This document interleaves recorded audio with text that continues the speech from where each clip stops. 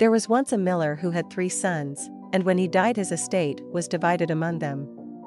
The older sons fared very well, but the youngest received nothing but the cat, and he often complained bitterly of his lot. My brothers may get their living easily enough, he said, but as for me, I may soon die of hunger and want.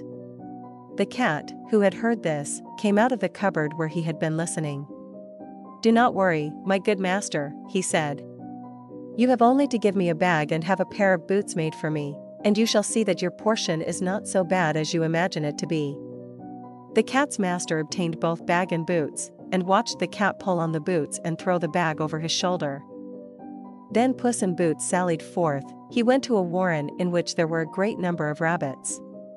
He put some bran and some parsley into his bag. Then waited for some innocent rabbit to feast on the dainties. Soon two young rabbits jumped into his bag and Puss in Boots drew the strings and caught them. Puss in Boots was very proud of his prey, and hurried with it to the palace and asked to speak to the king.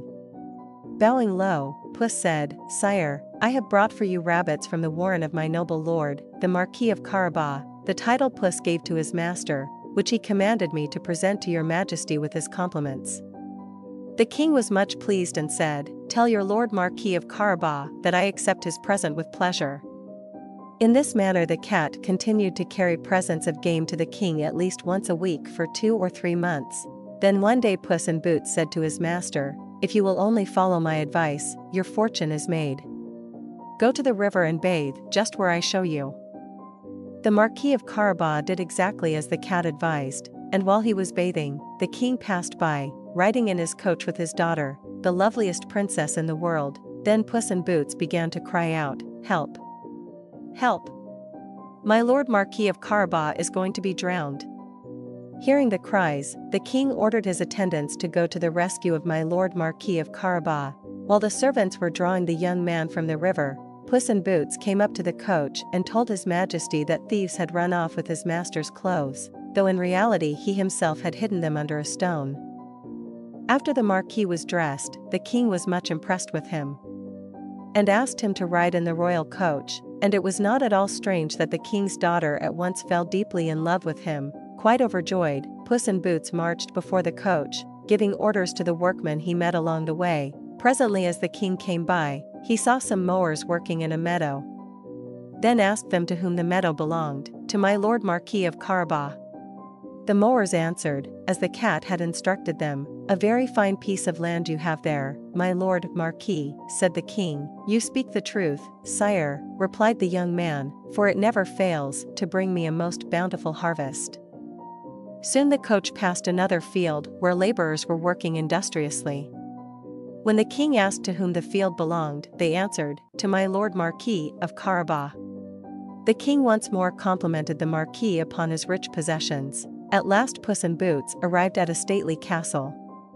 It belonged to an ogre, the richest ever known, and all the lands through which the king had passed that morning belonged to him.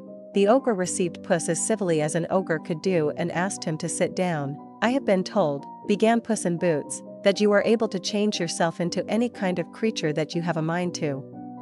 You can, for example, transform yourself into a lion, an elephant, or the like. That is true, answered the ogre very briskly, and to convince you, I shall now become a lion. The cat was so terrified at the sight of a lion so near him that he leaped onto the roof, which caused him even more difficulty, because his boots were of no use at all to him in walking on the tiles. However, the ogre resumed his natural form, and the cat came down, saying that he had been very frightened indeed. I have further been told, said the cat, that you can also transform yourself into the smallest of animals, for example, a rat or a mouse. But I can scarcely believe that. I must admit to you that I think that that would be quite impossible. Impossible! cried the ogre. You shall see. And in an instant he became a mouse and began to scamper about the floor. No sooner had Puss seen the ogre in the form of a mouse than he sprang upon him. Eating him in an instant, in the meantime, the king's coach approached the ogre's castle. The king desired to visit it and ordered the attendants to drive up to the gates. Hearing the wheels on the drawbridge, Puss in Boots hastened out. Your Majesty is indeed welcome to the castle of my Lord Marquis of Carabas. He said, And is this splendid castle also yours, my Lord Marquis of Carabas? inquired the king. Let us go in, if you please. The Marquis gave his hand to the princess, and they followed the king into the castle.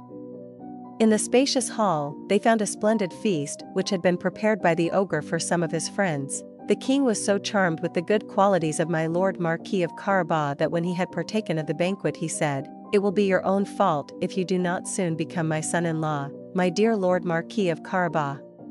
So after a short courtship the princess became the bride of the marquis, and they lived happily ever after. Puss in Boots was made a great lord and wore the most beautiful clothes, and never again ran after mice, except for entertainment.